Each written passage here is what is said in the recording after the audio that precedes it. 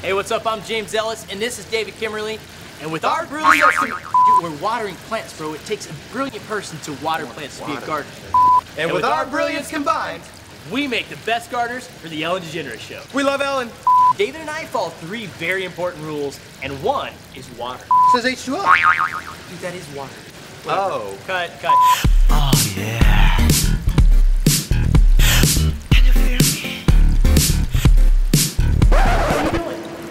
I'm watering the plant, bro. Perfect. Number two is sunlight. David, what are you doing? I'm photosynthesis, man. Dude, it's not photosynthesis, it's photosynthesis, Oh, dude, and it's sorry, for the plant, bad. remember? Hey, how am I supposed to do this, man? The dog's taking my spot, did I lose my position? And three is tender love care. Let it grow, let it grow. This is our chance to get on the Ellen Show. What are you doing, man? You don't you don't sing to the plants. You dance for them. We love you, Ellen. This song's for you.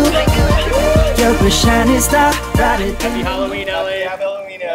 Wait. Dude, we were gonna do that together. I, I know. Okay, one, two, three. Happy Halloween, Ellen.